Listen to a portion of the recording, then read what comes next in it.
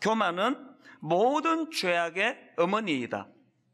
모든 죄의 출발이 이 교만에서부터 시작된다는 뜻 아닙니까? 그러고 보면은 인류 최초로 아담과 하와를 유혹할 때 사단이 사용했던 무기가 이 교만 아닙니까? 먹어라. 하나님처럼 될 것이다. 그래서 C.S. 루이스도 이 교만과 관련해서 재밌는 말을 했는데요. 교만에 비하면 다른 죄들은 벼룩에 물린 자국과 같다.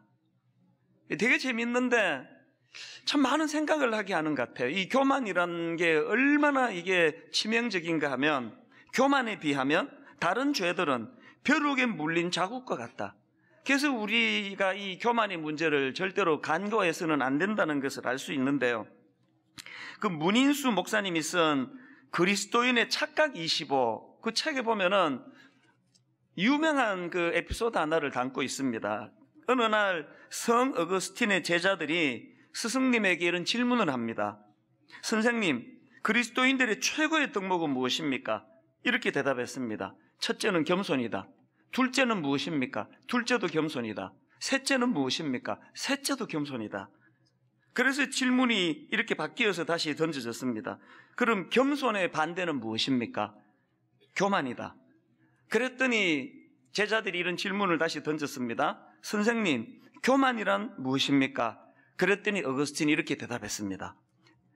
나는 지극히 겸손하다고 생각하는 것, 그것이 교만이다. 나는 지극히 겸손하다고 생각하는 것, 그것이 교만이다. 이 교만에 대해서는 뭐 누구도 예외가 있을 수 없다는 것을 강조하기 위한 어거스틴의 이 촌철 살인의 한마디, 한마디인데요. 이게 저에게 굉장히 울림이 되는 걸 경험합니다. 마귀는 거짓의 압이, 압이기도 하지만 교만의 압이에요. 교만의 원조예요. 뭐라고 예의를 갖추어 가지고 그냥 인사 잘하고 겸손한 사람이라는 소리를 들어도 그 내면에 내가 내가 나를 높이사 자기중심성. 그래서 저는 오늘 이 말씀만큼은 설교 준비하는 저나 설교를 들으시는 여러분이나 누구나 예외 없이 다 해당된다고 저는 생각합니다. 교만은 사람을 피해가지 않습니다. 이런 의미에서 저는 오늘 본문을 가지고 이 교만과 관련해서 우리가 얻어야 될 두 가지 메시지를 나누는 게 중요하다고 생각하는데요.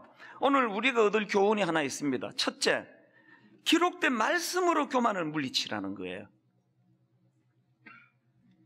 느부갓네살 왕의 교만, 또 그 왕의 교만으로 인해 그가 겪어야 했던 엄청난 고난, 고초, 이런 것들을 여기 왜 기록해 줬습니까? 그리고 이걸 계속 너는 말씀을 묵상해라, 큐티 좀 해라, 성경 좀 읽어라. 이거는 느부갓네살이라는 인생을 조명해 보자는 게 아니라 기록된 말씀을 통하여 타산지석으로 삼자는 거 아닙니까? 앞에서 언급한 그 마귀의 세 가지 유혹을 예수님이 무엇으로 물리치셨는지는 몇 번이나 말씀드렸던 유명한 말씀 아닙니까? 마태복음 4장 4절입니다. 예수께서 대답하여 이르시되 기록되었으되 사람이 떡으로만 살 것이 아니요 하나님의 입으로부터 나오는 모든 말씀으로 살 것이라 하였느니라.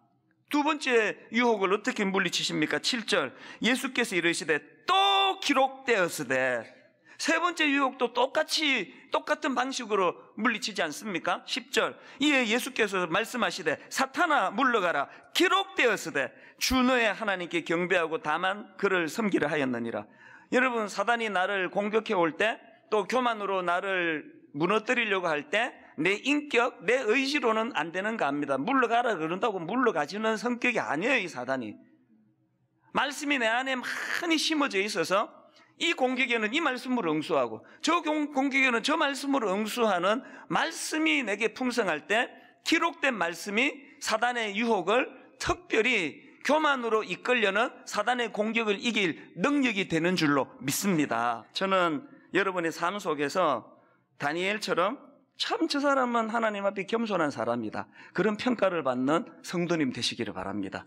그 이유가 뭐냐 물으면 저 사람은 항상 하나님께 의뢰해.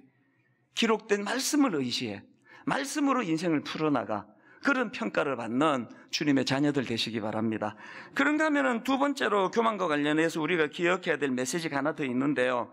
여러분, 나의 내면에서 하나님의 권위가 회복이 될 때 교만도 사라진다는 사실이에요.